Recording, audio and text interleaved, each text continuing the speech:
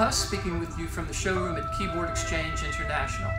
We'd like to thank all of you who have helped us grow our business for the past 51 years, and it is our intent to find good homes for all the instruments we have gathered uh, from all over the United States. Thank you to the families that have preserved the instruments and then sold them to us knowing that we would find good homes for them. If you, on the other hand, are in need of an instrument, please give us a call. Uh, there's been a lot of effort to gather these instruments together, and we would like to make you part of the Keyboard Exchange International family. Let's all work together to keep these fine instruments going long into the future so that we now and future generations can continue to enjoy the wonderful sound of the Hammond tone wheel organ.